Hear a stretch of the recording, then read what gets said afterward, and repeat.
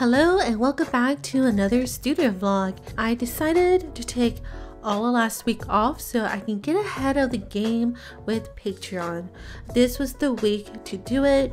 If I waited any longer, I knew that I was gonna start freaking out over trying to get ready for Nadeshicon. So I decided not to film anything. I just art, art, art arting one thing after the other after the other. Not only that, I decided that I wanted to draw my own original art print to debut at Nadeshicon. So this is my biggest art print. It's a full page, which is 8.5 by 11. I usually don't go bigger than 5 by 7 because I'm not sure how I would ship an 8.5 by 11 art print. But I figured since I would have two 8 by 10 fan art prints at Nadeshicon, I should at least try to have one original art print. I also spent that same week to work on that. What did I do last week with Patreon? I created the digital download. The digital download is a weekly planner with a spring theme. I really love this layout and I would like to have digital downloads in my Etsy shop in the future. If I do do that, this is the layout I'm going to have. I also did the Pinto Club Goodie and this month the Pinto Club Goodie is going to be 60 loose memo sheets they are a fun shape and their spring theme, of course, as flowers, mushrooms, bees, and so on on there. I really love how this turned out. The Pinto Club members would get white and pink backgrounds and you're also going to get a 3 inch and 2 inch versions. I love having smaller memo sheets sometimes because sometimes that's all you need. Not only that, I think it'll be fun to decorate your journal, planner, and I really love how it turned out. The Pinto Club goodie for this month changed a couple of times, but I'm really happy that in the end, this is what I chose to do. By the end of all this, I was on the verge of burnout. Usually when I do art, there's a little bit of downtime, maybe a day or a few days or so on, but this week was an exception when I don't have a convention or something else at the same month to prepare for. I just do all this throughout the month. Thankfully, this all finished when it did. I think if I had to do anything else more, I would have been burnt out, but we finished and we're good. And I'm happy that I took that time to just work on Patreon and not worry about creating a studio vlog for that week.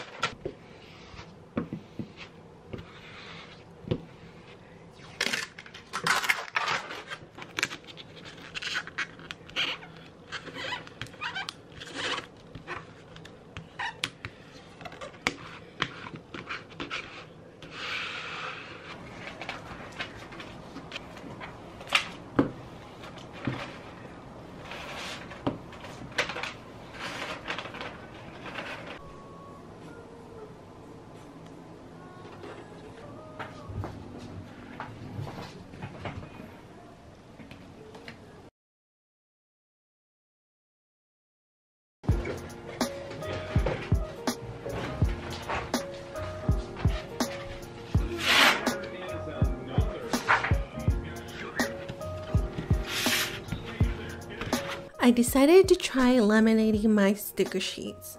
If you watch my past studio vlogs, you might have seen a vlog last year where I said I was having some trouble with my sticker sheets.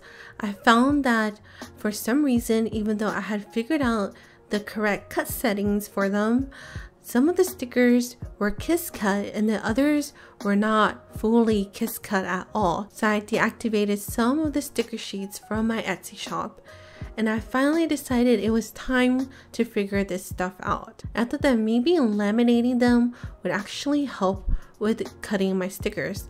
Not only that, I've been thinking about laminating my sticker sheets. I don't think I will be laminating my rainy day sticker sheet, which features Jackie the Fluffy Rabbit.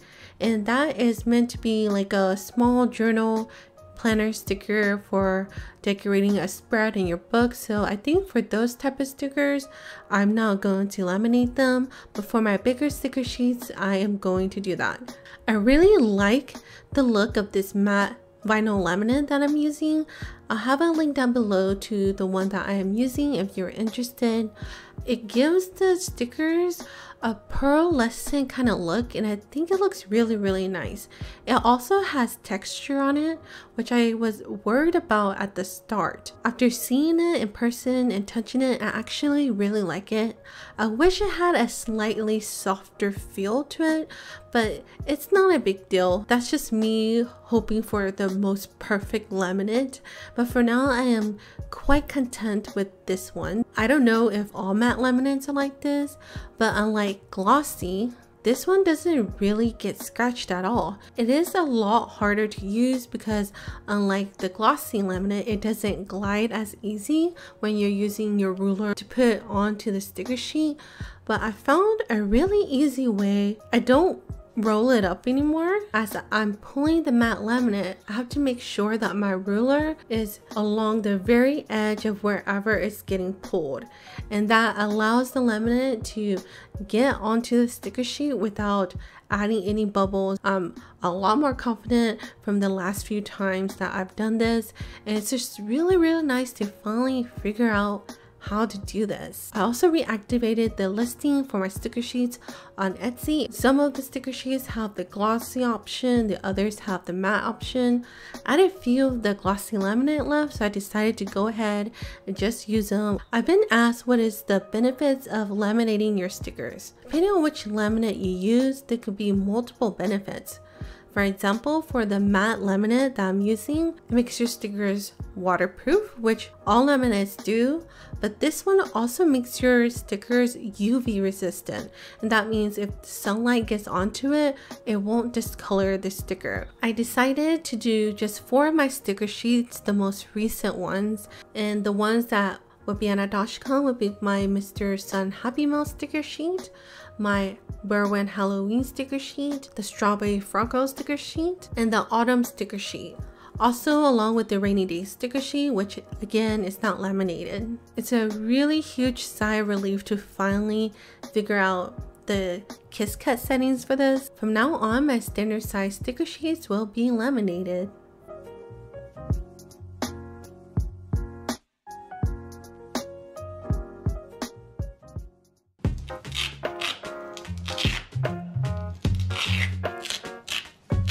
Husband has been a really, really huge help with helping me figure out a table setup for an Nadeshicon. We decided to use Velcros to attach the white squares to the grid cube.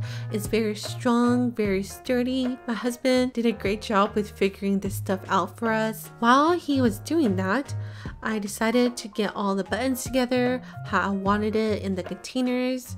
I am going to be using the containers I use for my sticker storage for my buttons. My buttons are 1.25 inches, so they're pretty small. When you look down at them, you can see all the characters. They're all separated really nicely. There's three empty slots left, so before the convention starts, I'm going to make up three more button designs to fill up the space. My husband is using zip ties to attach grid cubes into the center of one of our displays.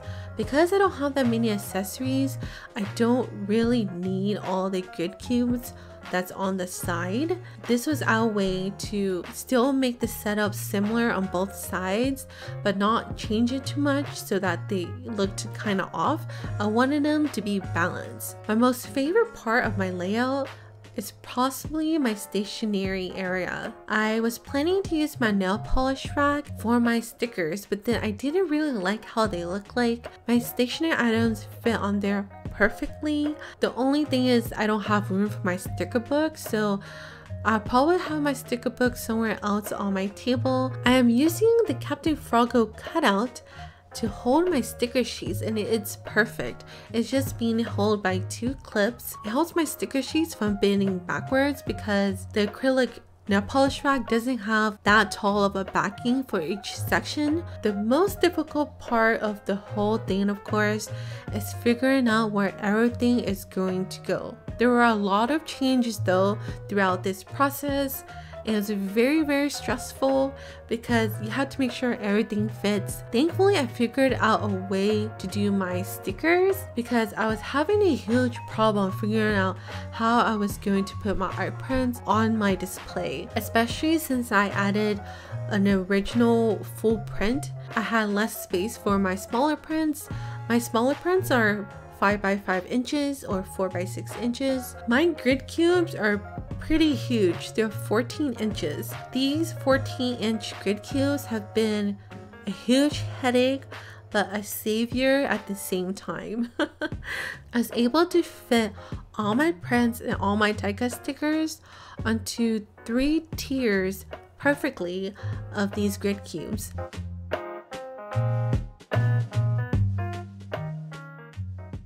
Hello everyone, it is Friday, March 17th. It is a week before Nadeshicon and I'm excited and I'm not as stressed as I think I could be, but I think the fact that my husband and I have finally kind of figured out or mostly figured out how the table setup is going to be has relieved a lot of that stress. I've received all the information I need for the convention. So if you happen to be going to Nadeshicon, I will be at table 71. I'm super, super excited for this. Be my first three-day convention. I've been told that Nadeshicon is a very comfortable and busy enough convention. I don't exactly know what that means. I know that it's not a huge convention. It's probably the perfect three-day convention to start. You have seen some of my tables, so I'm about 95% sure that's how it's going to look like. There might be some changes, but I don't think it's going to be too much of a big change. I'm gonna buy some fabric in my brand colors to cover the table with. I wasn't planning to do that, but I thought that if I'm going to take this seriously, I need to just go ahead and buy the stuff and make my table as nice as I possibly could. I apologize if this vlog is short. I don't know how long it'll be. I didn't talk in any part of it except this part and there's gonna be a lot of voiceover. So I hope that at least it's still a fun vlog to watch. Next week's vlog will be about the final preparations for Nadeshicon and the con itself. That would be it. Thank you so much for watching and I'll see you guys next time. Bye!